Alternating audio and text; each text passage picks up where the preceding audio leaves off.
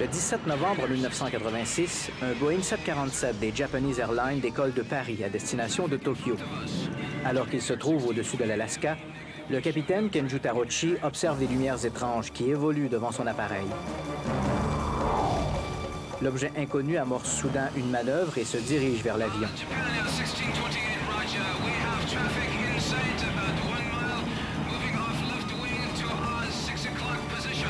Ce que le commandant de bord avait d'abord pris pour un chasseur militaire se révèle bientôt un engin circulaire, deux fois plus grand qu'un jumbo jet.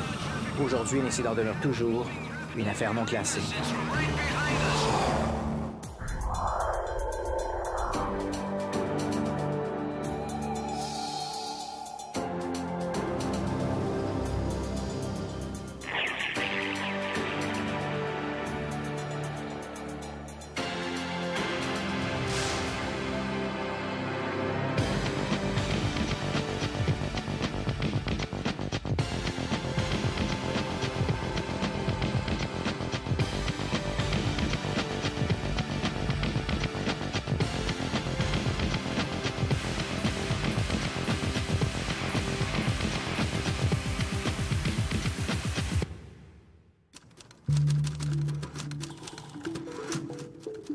Le 24 juin 1947, un pilote américain, Kenneth Arnold, observe neuf objets inconnus au-dessus du mont Rainier dans l'État de Washington.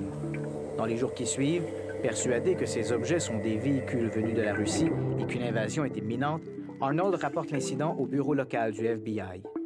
En décembre, devant le nombre croissant de ces manifestations, l'Air Force est officiellement chargé d'enquêter sur ces mystérieuses soucoupes volantes. Mais les militaires ne sont pas les seuls en lice. La perspective d'une invasion inquiète également les services de sécurité publique. John Edgar Hoover, le directeur du FBI, le Bureau des enquêtes fédérales, et l'amiral Roscoe Allen Cooter, grand Manitou de la toute récente agence du renseignement, la CIA, sont eux aussi préoccupés. Le public ne découvrira toutefois leur véritable rôle qu'avec l'avènement, 30 ans plus tard, de la loi d'accès à l'information.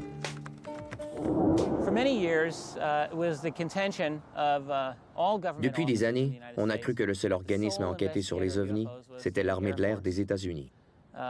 Nous savons maintenant que c'est faux. Les rapports sur les ovnis ont été acheminés dans toutes les branches de l'armée. L'armée de l'air, l'armée de terre et la marine. La CIA s'est aussi intéressée au phénomène dès 1948 et ce, à l'échelle planétaire. La CIA a d'ailleurs accumulé d'excellents dossiers.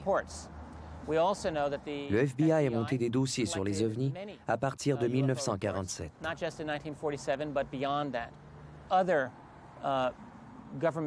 D'autres instances gouvernementales, comme l'Agence de la Défense nationale, s'y sont intéressées, de même que le département interarmé. Et même la Maison-Blanche a reçu à l'occasion des rapports sur ce sujet. Mais avant la loi sur l'accès à l'information, promulguée en 1974, on ne savait rien de cela.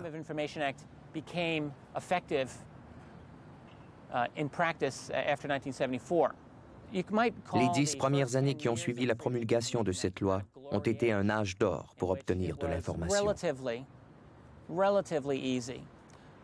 C'était relativement facile à un ufologue d'obtenir des documents intéressants du gouvernement, particulièrement sous la présidence de Jimmy Carter. Jimmy Carter faisait une interprétation plutôt libérale de la loi d'accès à l'information. À l'époque, le coût des copies des dossiers était raisonnable et la réponse des instances concernées était relativement rapide. Pendant ces premiers dix ans, les ufologues ont obtenu des milliers et des milliers de documents de la CIA, du FBI, du DIA, de la Marine et des forces armées.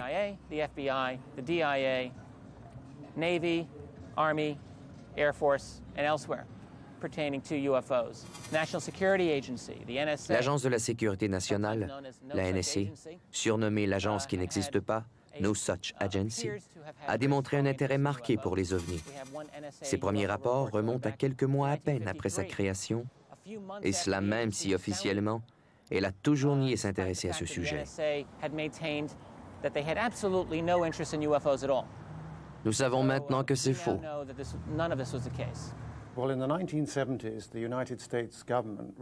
Suite à la promulgation de la loi de l'accès à l'information, dans les années 1970, le gouvernement américain a rendu public des milliers de pages portant sur les ovnis. Ces documents provenaient de diverses agences gouvernementales comme le FBI, la CIA, et plus tard, d'autres agences ont également produit des rapports. Curieusement, tous ces rapports ont été rendus publics après la négation de l'existence de tels dossiers. Toutefois, d'autres documents demeurent confidentiels, classés à un niveau plus élevé encore que top secret, et plusieurs dossiers top secret sont encore cachés pour des raisons de sécurité nationale. Quant à savoir pourquoi, toutes les interprétations sont possibles dans le cadre de la sécurité nationale. Selon moi, il est très clair qu'il existe encore beaucoup de documents classés confidentiels. Si vous discutez avec les gens des renseignements, ils vous diront qu'aucune information explosive n'a jamais été écrite sur du papier portant l'entête du gouvernement américain. Il y a donc encore beaucoup de dossiers cachés. Mais les dossiers rendus publics démontrent clairement l'implication du gouvernement et le côté aléatoire dans l'interprétation de la classification des dossiers. Un document du FBI, daté de 1949, indique d'ailleurs que toute la question des ovnis est classée top secret auprès de toutes les instances militaires, telles l'armée de l'air, l'armée de terre et la marine.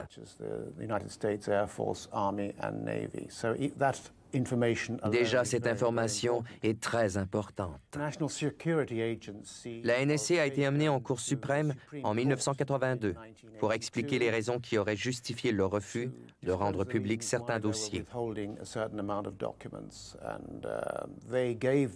Ils ont motivé leur refus dans un affidavit de 21 pages qui est également classé top secret Umbra ce qui signifie que la diffusion de son contenu pourrait nuire gravement à la sécurité nationale. Nous parlons bien de documents menaçants pour la sécurité nationale et de savoir que des dossiers portant sur les ovnis sont classés de cette manière est très significatif. Cependant, j'ai parlé à quelqu'un qui a vu cet affidavit de 21 pages. Ce document ne parle pas de la récupération de cadavres extraterrestres, ni de contact entre le gouvernement américain avec des extraterrestres ou des choses comme cela. Il est peu vraisemblable qu'on retrouve de telles informations sur un document présenté à la Cour suprême.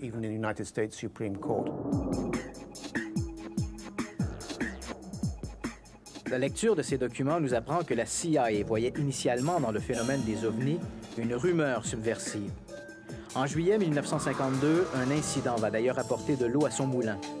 Dans les soirées du 19 et 26 juillet, des objets inconnus sont détectés sur les radars de l'aéroport national de Washington, D.C. Les objets survolent nonchalamment la Maison-Blanche et le Pentagone, deux édifices interdits de survol en tout temps.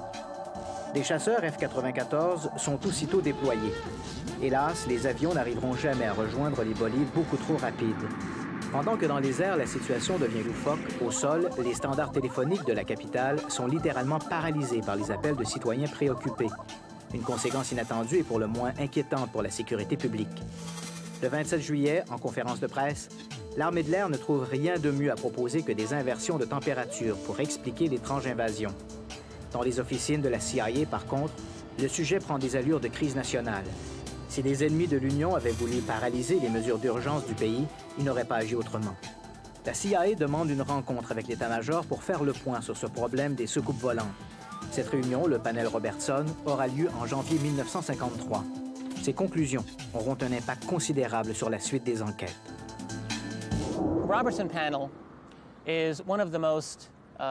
Le panel Robertson est l'un des plus importants moments de l'histoire des ovnis mais peu de gens saisissent toute l'importance.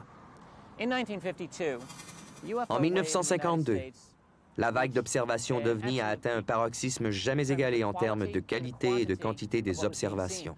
À cause de cela, l'armée de l'air américaine a tenu une conférence de presse en juillet 1952 où elle a affirmé qu'il s'agissait simplement d'un phénomène dû à des différences de température et à des conditions météo. Dans le public, cette explication a suffi. Mais dans l'univers des services secrets, les gens ont compris que ce n'était pas là une explication valable. À la fin de la présidence de Harry Truman, en janvier 1953, un comité scientifique composé de plusieurs prix Nobel a été commandité par la CIA pour faire une étude secrète sur les ovnis. On a appelé ce comité le panel Robertson à cause du nom de son directeur, H.P. Robertson. Nous savons maintenant que les conclusions du panel Robertson ont été écrites avant même que le groupe ne se réunisse.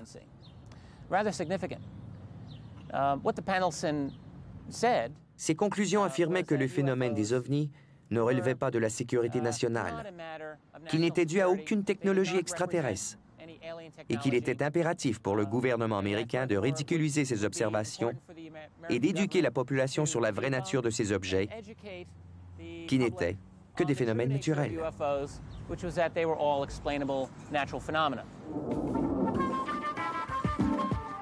Au lendemain de la réunion du panel Robertson, il semble que le FBI, la CIA et même la NSA pour National Security Agency n'aient jamais cessé de s'intéresser aux ovnis. Cet intérêt était particulièrement manifeste lors des grandes périodes de tensions politiques comme la crise des missiles de Cuba en 1960. Pourquoi? Les agences partageaient-elles encore cette vision que les ovnis pouvaient être utilisés pour déstabiliser les pouvoirs en place? Étaient-elles au courant d'une réalité beaucoup plus exotique du phénomène? Les documents rendus publics ne donnent hélas que peu d'indications. Nous savons toutefois qu'un certain nombre d'observations classées non identifiées par le projet Blue Book, la commission d'enquête sur les ovnis parrainée par l'US Air Force entre 1952 et 1969, étaient en fait des vols d'essais d'avions espions de la CIA. La volonté de cacher au public américain l'existence de ces avions est-elle suffisante pour justifier l'intérêt des services secrets pour l'énigme des ovnis?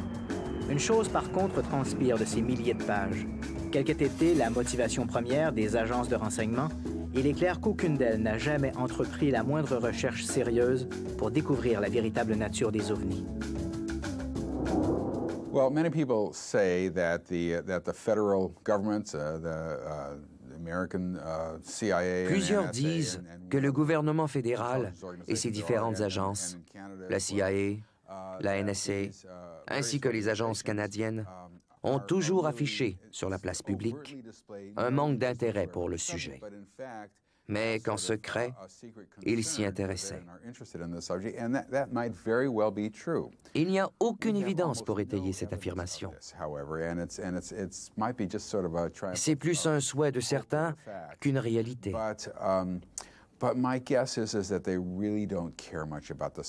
Je pense que les gouvernements canadiens et américains ne s'intéressent pas du tout à ce sujet parce qu'ils sont plutôt influencés par la communauté scientifique qui, elle, est résolument hostile au sujet, jugée trop farfelue. Je n'ai jamais vu de leur part de recherche sérieuse sur le sujet, dans aucun pays, et plus particulièrement en Amérique du Nord.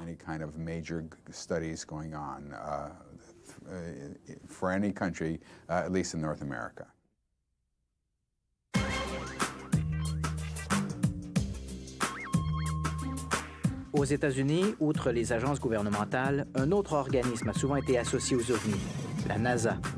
À en croire plusieurs auteurs, tous les vols spatiaux auraient été accompagnés par des véhicules extraterrestres. Évidemment, la NASA imposerait un silence complet sur ces incidents.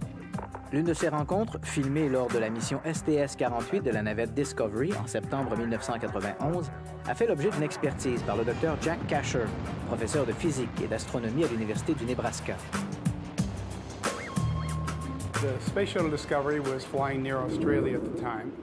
À l'époque, la navette spatiale Discovery survolait l'Australie et ses caméras de surveillance étaient braquées sur l'extérieur. Subitement, une lumière brillante est apparue à la droite de l'écran. Il y avait toute une série de lumières, mais celle-là était plus brillante que les autres. Et cette lumière s'est mise à se déplacer vers la gauche, jusqu'au moment où sont apparus, vers le bas de l'écran, à gauche, deux brefs éclairs lumineux Et comme en réaction, l'objet s'est alors déplacé rapidement vers la droite. Tout de suite après, deux traces lumineuses sont apparues à l'image, l'une à l'endroit où l'objet se trouvait précédemment et l'autre ici. Il y avait aussi un deuxième objet qui est apparu. il a réagi de la même façon, en remontant vers le haut de l'écran. Il y en avait d'autres, à droite, qui ont réagi de la même manière. Alors, vous avez plusieurs objets, deux éclairs lumineux, une réaction et des traînées lumineuses qui apparaissent là où ces objets étaient. La réponse de la NASA est assez rationnelle.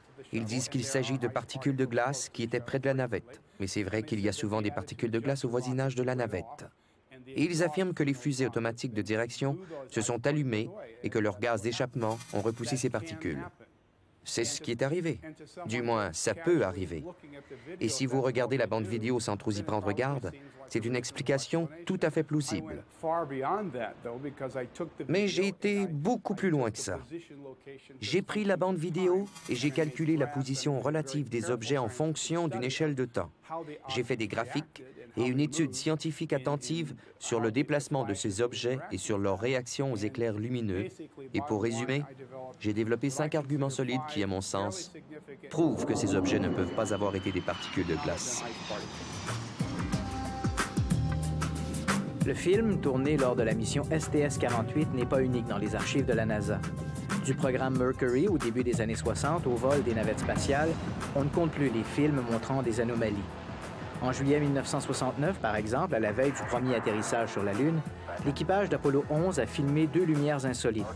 D'après la NASA, il s'agirait simplement de reflets sur l'un des hublots du LEM.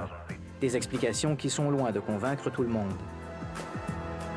Je ne peux pas dire avec certitude que dans ce cas précis, il cachait de l'information. Je soupçonne que la NASA était impliquée dans des cas d'OVNI. Et si elle l'a été, il me semble également logique qu'elle essaie de le cacher. Les ovnis sont des objets intéressants et il ne s'agit pas ici de savoir si le gouvernement cache quelque chose, ça c'est un fait. Il a été prouvé en cours que le gouvernement possède des dossiers ultra-secrets sur les ovnis. Alors comme ces documents existent, il est probable que la NASA en ait également. Je ne peux pas affirmer avec certitude que la NASA ait été spécifiquement impliquée dans une opération de camouflage dans le cas du STS-48. Mais j'ai confiance en mes recherches et je pense que je peux facilement établir qu'il s'agit ici de vaisseaux spatials et non pas de particules de glace. J'ai discuté avec plusieurs astronautes et la majorité n'a pas, je crois, observé d'OVNI. Et ils ont été ébranlés d'apprendre qu'on leur avait attribué de telles observations. Mais il y a eu quelques cas inexpliqués. James McDavitt, par exemple, m'a raconté qu'il avait été intrigué par un objet qu'il avait aperçu lors d'un des vols Gemini. J'ai également des lettres d'autres astronautes qui avouent avoir été intrigués par différentes observations, dont quelques-unes d'ailleurs ont été expliquées. Je demeure totalement convaincu que ces photos montrent des particules de glace expulsées par les fusées de direction de la navette elle-même.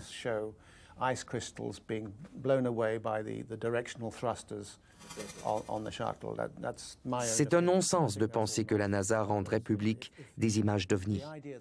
Ces objets ne ressemblent pas à des ovnis. Elles ne bougent pas comme des ovnis et selon moi, ne sont pas des ovnis.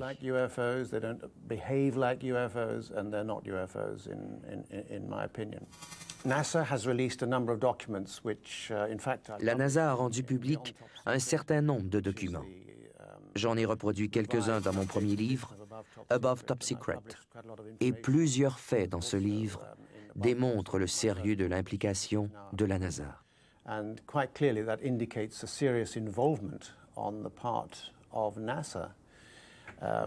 Toutefois, la NASA retient une foule de documents classiques confidentiels ou top secrets et beaucoup d'autres à un niveau encore plus élevé que secret.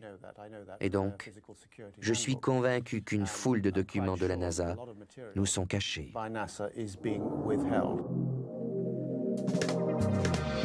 Au Canada, contrairement aux États-Unis, le sujet des ovnis n'a jamais réellement été pris en charge par les autorités civiles. Le seul épisode significatif remonte au début des années 1950. À cette époque, un ingénieur à l'emploi du ministère fédéral des Transports, un certain Wilbert B. Smith, entreprend de sa propre initiative, mais avec l'aval de ses supérieurs, d'étudier tous les rapports d'OVNI déjà colligés par le ministère de la Défense et celui des Transports. Smith espère pouvoir tirer de cet exercice des informations scientifiques pertinentes. Son étude sera connue sous le nom de Projet Magnet. En 1950, 51 et en 1952, un scientifique et officiel du gouvernement canadien, Wilbert Smith, du ministère des Transports, manifestait un très grand intérêt pour les ovnis et de sa propre initiative a fait beaucoup de recherches personnelles sur ce sujet. Il a discuté avec plusieurs scientifiques américains, dont Robert Sarbarker, qui lui a confié que les dossiers sur les ovnis étaient considérés au plus haut niveau quant à la sécurité.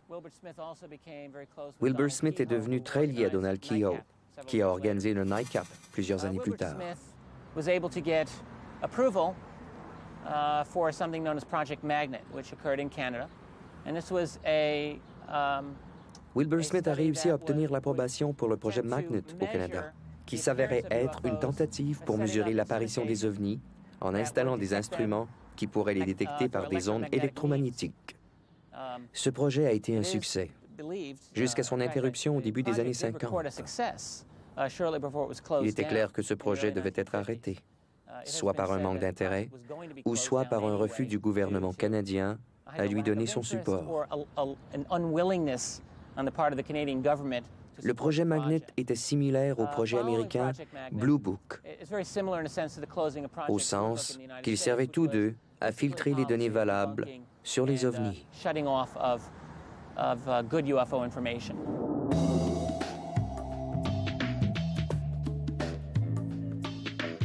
En 1954, anticipant les conclusions de Smith, qui ne cache pas être persuadé que les ovnis sont des engins interplanétaires, le ministère des Transports lui retire son appui. On lui demande de cesser toute activité dans le cadre du projet Magnet, trop publiquement associé au ministère fédéral. Smith met fin à son étude et remet ses conclusions. Comme on s'y attendait, l'ingénieur écrit que le phénomène est certainement extraterrestre. Parallèlement, à la même époque, une autre étude sur les ovnis, le projet Second Story, étude menée conjointement par les ministères des Transports et de la Défense, arrive à des conclusions beaucoup plus réservées. Après l'aventure du ministère des Transports, les ovnis vont se retrouver dans une sorte de no man's land. Le ministère des Transports n'en veut plus et la Défense juge inutile la collecte de ces rapports. En 1967, c'est le Conseil de recherche du Canada, via l'Institut d'astrophysique Edsberg d'Ottawa, qui accepte de prendre le relais. Mais ces motivations n'ont pas grand-chose à voir avec les ovnis. L'Institut Herzberg était le centre d'études en géophysique et plus particulièrement en astronomie. Plusieurs personnes, dont le docteur Peter Millman, étudiaient comment l'observation de météorites aperçus dans le ciel pouvait amener leur découverte une fois tombés au sol. Pour ce faire, il a eu la collaboration de la Gendarmerie royale du Canada, pour amasser les rapports d'observation de lumière inhabituelle dans le ciel, un rapport d'OVNI dans certains cas, et ensuite prendre les rapports de la GRC et les amener au Conseil de recherche nationale, qui était le centre d'archives de l'Institut Herzberg. Ces rapports étaient ensuite examinés pour voir si c'était des bolides ou des météorites qui auraient pu atterrir sur Terre.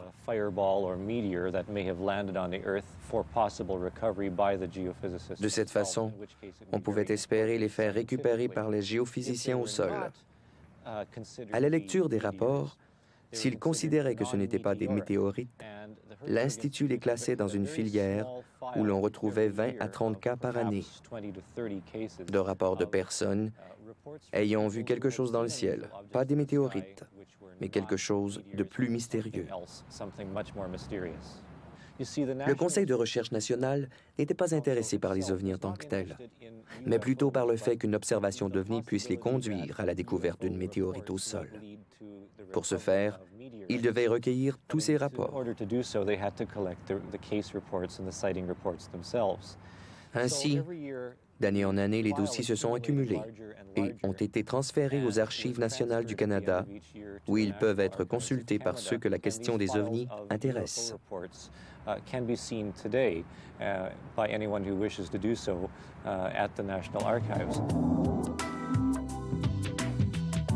La collecte des informations est essentiellement laissée à la discrétion des différents corps policiers fédéraux, provinciaux et municipaux. Les forces constabulaires se doivent, lorsqu'il y a plein de citoyens, de faire enquête.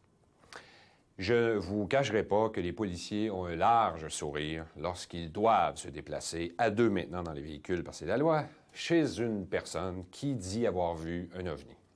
Pour eux, c'est beaucoup de paperasse additionnelle à remplir, c'est du surplus de travail, c'est pas drôle, c'est pas le fun. Ils vont le faire pareil parce qu'ils sont obligés. Il y a une plainte. Bien sûr, le plus beau des scénarios, ce serait que les policiers se pointent chez le témoin et en arrivant, l'OVNI est là, dans le champ, et ils sont eux-mêmes témoins. Heureusement, c'est déjà arrivé. C'est arrivé à Saint-Hyacinthe euh, il y a peut-être 5-6 ans maintenant. C'est arrivé déjà à Québec, c'est arrivé à Coleraine, c'est arrivé au Lac-Saint-Jean, c'est arrivé un peu partout. Et c'est sûrement arrivé encore plus qu'on le pense, mais on ne nous l'a jamais dit.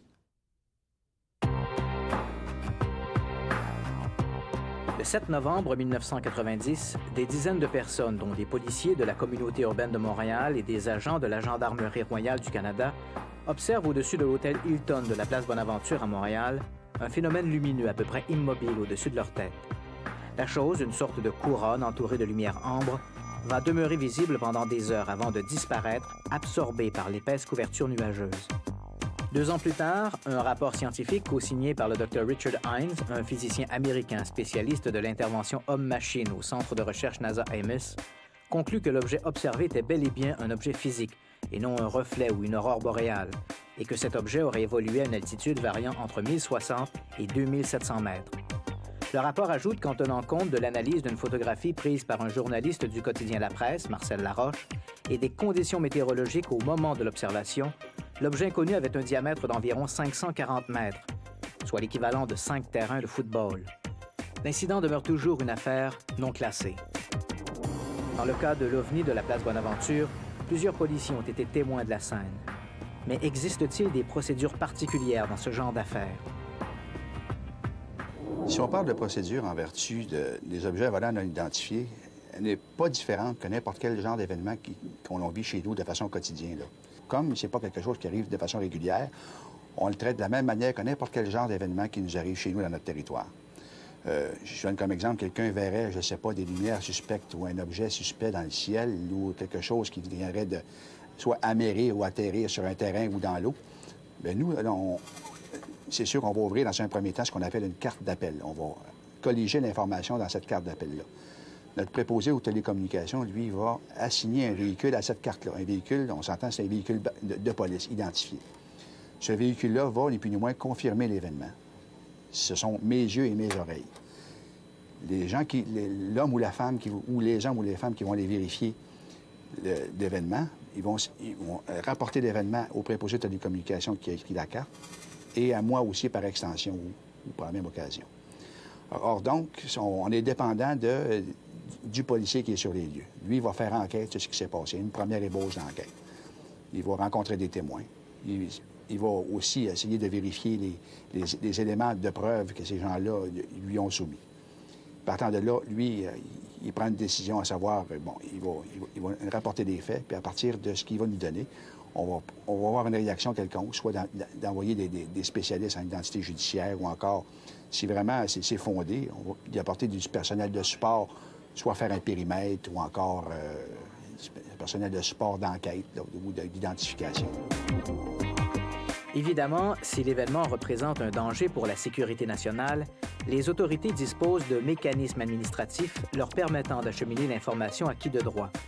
Dans le cas de l'OVNI de la place Bonaventure, un appel a été logé aux forces armées. Malheureusement, faute d'écho radar, les officiers de la base militaire de Trenton, en Ontario, responsables de la sécurité de tout l'est du territoire canadien, n'ont pas jugé bon de dépêcher des chasseurs.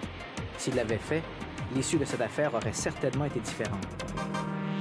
Si ce n'est pas fondé, on n'a pas à avertir quelqu'un, on n'avertira pas la GRC ou les forces armées canadiennes pour leur dire qu'on a eu un dossier non fondé.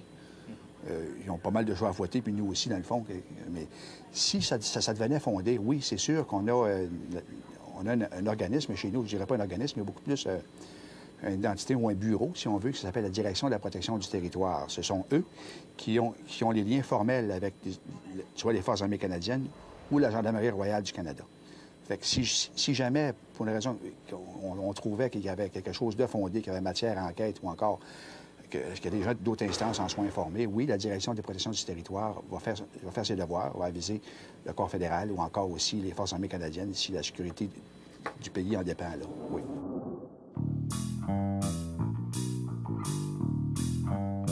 Hélas, n'en déplaise aux amateurs, ce n'est ni au service de police ni aux militaires d'étudier la nature des ovnis. Le rôle premier de l'armée, c'est de veiller à la sécurité du pays et celui des forces policières à la paix publique. Or, de façon générale, les ovnis ne représentent ni une menace pour le territoire, ni un risque pour la population. Idéalement, pour une meilleure compréhension du phénomène, il faudrait un organisme étatique, civil, indépendant de toute structure militaire et jouissant des mêmes moyens d'enquête que ceux des services policiers, mais dont l'objectif premier ne serait pas la sécurité du territoire, comme c'est le cas avec l'armée ou la police, mais les ovnis. Utopie, non. Cet organisme existe, unique au monde, et il s'agit du CEPRA. La France s'est dotée d'un organisme euh, au sein du Centre national d'études spatiales, donc est un organisme civil euh, d'études euh, des recherches euh, au niveau euh, aérospatial, puisque la mission du CNES, c'est en fait, d'étudier les satellites, les fusées et tout ce qui se passe dans l'environnement aérospatial. Donc le, le, CNES a eu pour mission en 1977 suite à l'interview d'un ministre qui s'appelait Robert Gallet et qui avait été interviewé par un journaliste qui s'appelle Jean-Claude Bourret sur d'étranges manifestations euh, que l'on dénommait euh, après-guerre sous coupe volante, euh, qu'on a dénommé OVNI en France, UFO aux États-Unis et, dans les pays anglo-saxons. Donc le ministre a, dit effectivement, la gendarmerie reçoit des, témoignages, il y a des choses bizarres. Eh bien, essayons d'étudier cette chose, mais essayons de l'étudier d'une façon plus scientifique que sensationnelle ou journaliste. Et donc le CNES a été chargé de mettre en place un petit organisme d'études qui s'appelle euh, à l'époque le GEPAN. Donc le GEPAN euh, a été suivi par un conseil scientifique. C'est-à-dire qu'on ne l'a pas laissé partir euh, tout seul pour étudier ces questions. On lui a dit, ben voilà, il y aura un conseil scientifique. Et ce conseil scientifique a, a tracé en fait la route à ce GEPAN pour pouvoir collecter de l'information, l'analyser, l'expertiser, et puis dire qu'est-ce qu'il y avait derrière euh, le phénomène des soucoupes volantes, comme on l'expliquait à l'époque. Dès 1977, lorsque le GEPAN a été créé, euh, le CNES a passé des accords, des protocoles avec l'ensemble des administrations, euh, institutions civiles et militaires, de manière à pouvoir définir le rôle de chacun. donc, par exemple, la gendarmerie nationale, l'armée de l'air recueillent des informations puisque ce sont des, euh, des pilotes qui, euh, qui, observent, ce sont des, euh, des gens qui, dans, dans leur, dans leur travail, font une observation, ou même en se promenant.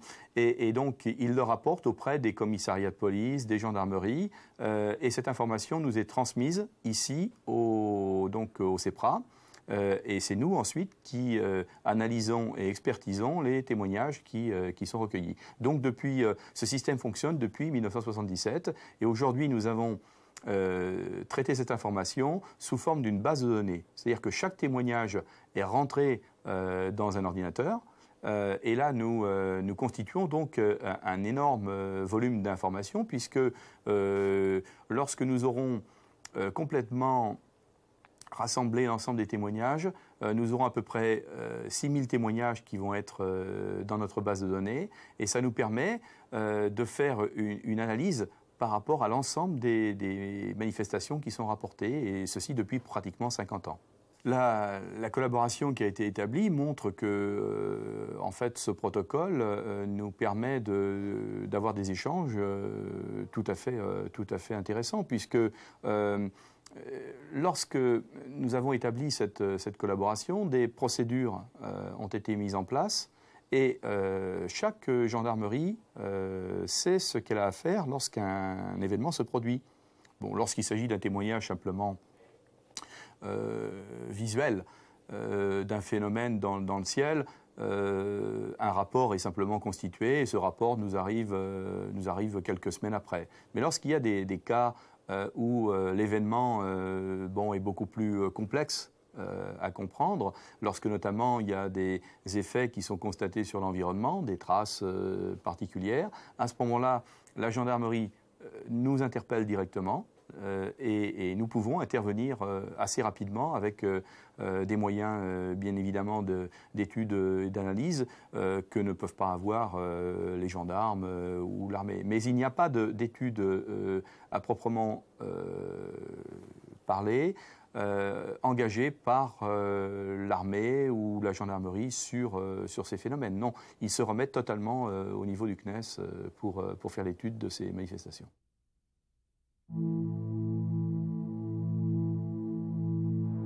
Le 8 janvier 1981, à Trans-en-Provence, dans le Var, un homme s'affaire dans son jardin.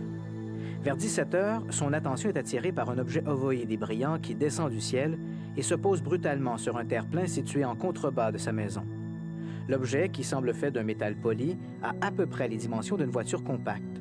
Il ne présente aucune aspérité apparente permettant de l'assimiler à un quelconque aéronef. L'objet reste au sol quelques secondes, puis, en silence, décolle, passe entre les arbres disparaît dans le ciel. Sur place, le témoin constate que le sol est marqué d'une trace en forme de couronne d'environ 2 mètres de diamètre. Dans les heures qui suivent, il informe la gendarmerie qui, à son tour, en informe le GEPAN, l'ancêtre du CEPRA. Les analyses effectuées sur le terrain mettront à jour des anomalies tant au niveau du sol qu'au niveau des végétaux. Aucune explication satisfaisante n'a jamais été apportée à l'incident, qui demeure une affaire non classée.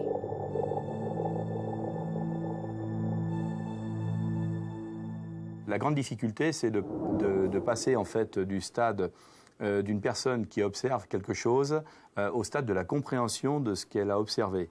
Et donc, euh, tout au long de, l'information qui a été captée par le témoin jusqu'au moment où nous, on, essaye d'apporter une réponse, il y a une perte considérable d'informations qui se produit. Donc il faut essayer, au travers de tout ça, euh, d'arriver à, quelque chose d'assez compréhensible. Alors, que représentent ces phénomènes globalement? Euh, on peut dire euh, qu'elle représente aujourd'hui, depuis euh, les années 50 jusqu'à aujourd'hui, environ 12% des, cas qui demeurent inexpliqués. Alors ces 12% de, cas inexpliqués, ils représentent quoi? Eh bien, ils représentent toute une variété de phénomènes aux caractéristiques physiques et évolutives tout à fait particulières. Ça peut être par exemple des trajectoires euh, en zigzag, euh, euh, en feuilles mortes, ça peut être des, phénomènes qui se déplacent silencieusement et qui vont par exemple provoquer des interruptions de, lumière lorsque quelqu'un est en voiture et qu'il va croiser une manifestation. Ça peut être euh, euh, des, gens qui observent des formes euh, proches du sol et qui vont ensuite disparaître dans l'atmosphère. Donc c'est tout un ensemble d'événements que nous ne pouvons pas assimiler à des phénomènes connus.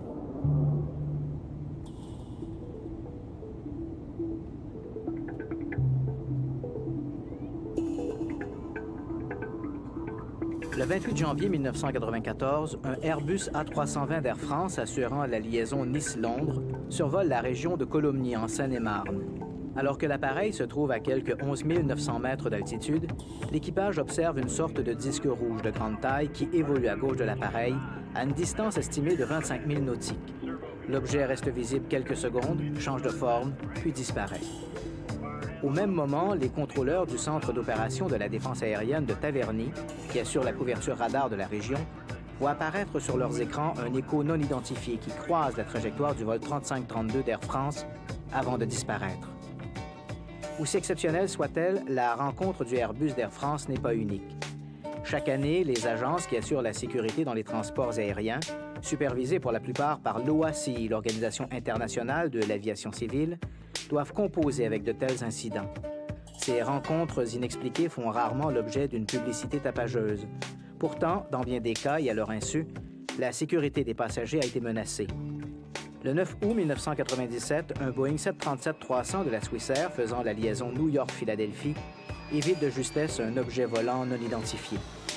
Le 6 janvier 1995, quelques minutes avant de se poser à l'aéroport de Manchester, en Angleterre, un Boeing 737 des British Airways évite une collision avec un objet lumineux de forme triangulaire. L'OVNI évolue en silence et échappe à toute détection radar. En août 1984, un appareil des Condor Airlines se pose en catastrophe à l'aéroport d'Ipswich en Angleterre après avoir heurté un engin volant non identifié. Le rapport des agents de l'aviation civile britannique mentionne que l'avion présentait des dommages importants à l'un de ses moteurs, à un hublot, à une partie de son fuselage, à un aileron et à des câbles hydrauliques. Dans tous ces cas, aucun organisme n'a été en mesure de fournir une explication rationnelle, pas plus les enquêteurs de l'aviation civile que Jean-Jacques Velasco du CEPRA. Alors la position du CEPRA par rapport euh, à ces cas inexpliqués est la suivante. Nous avons euh, des phénomènes qui ne répondent pas à des connaissances que nous avons aujourd'hui sur la possibilité de, construire de tels, objets. Donc si nous n'avons pas cette possibilité, ben, ça veut dire que ça vient d'ailleurs.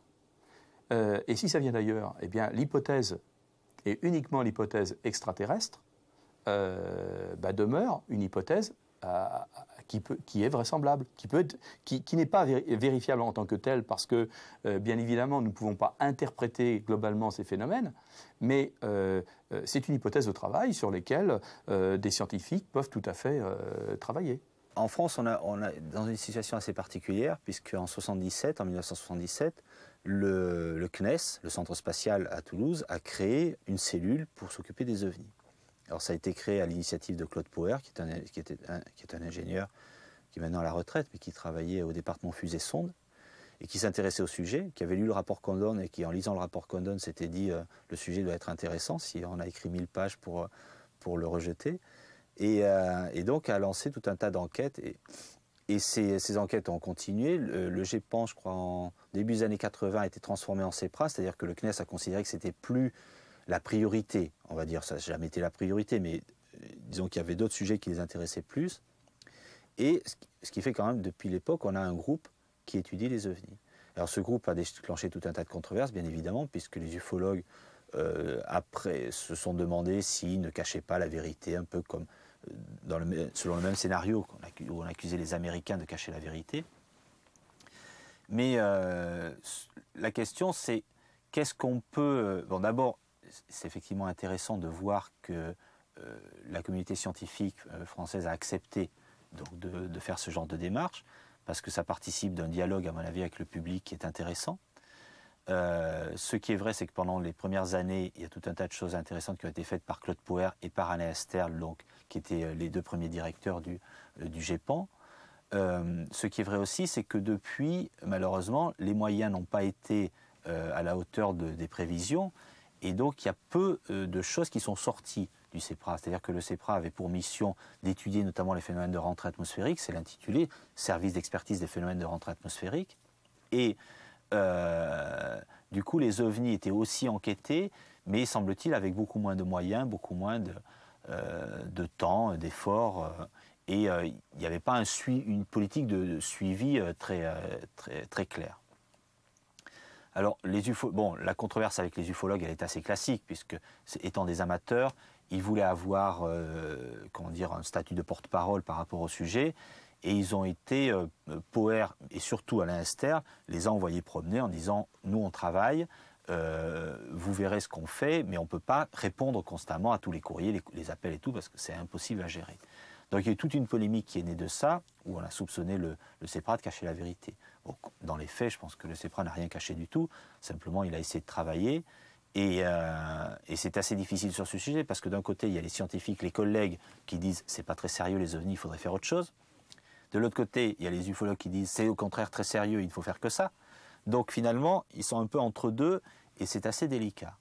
Et comme en plus le CNES n'a jamais visiblement fait de ce groupe une, priorité quelconque et ne l'a pas doté des moyens qu'il aurait sans doute fallu, euh, le groupe a continué à exister, a continué à travailler, mais à un rythme assez ralenti. Ce qui fait que depuis en fait que le GEPAN est devenu le CEPRA, il n'y a pas eu production de, rapports ou d'articles conséquents. On en est resté effectivement à des discussions sur notamment l'affaire de Trans-en-Provence, qui est un cas d'atterrissage qui avait été enquêté en 81 par le GEPAN. On a continué à en discuter, mais il y a guère d'autres travaux qui ont été faits depuis. Depuis la fin de la Seconde Guerre mondiale, de nombreux organismes civils ont eu à composer avec la présence d'objets célestes inconnus. Avec les années, le dossier de ces affaires non classées n'a cessé de s'alourdir. Même si bien des informations demeurent toujours inaccessibles, les milliers de pages rendues publiques ces dernières années prouvent que le phénomène est beaucoup plus important qu'on ne le laisse croire. Pourtant, sur la place publique et dans les médias, sceptiques et partisans continuent de débattre de l'unique hypothèse extraterrestre. Les discussions seraient peut-être beaucoup plus fertiles si, au lieu de regarder uniquement l'étiquette, on étudiait les faits, sans préjugés. Pendant que les chiens aboient, la caravane passe.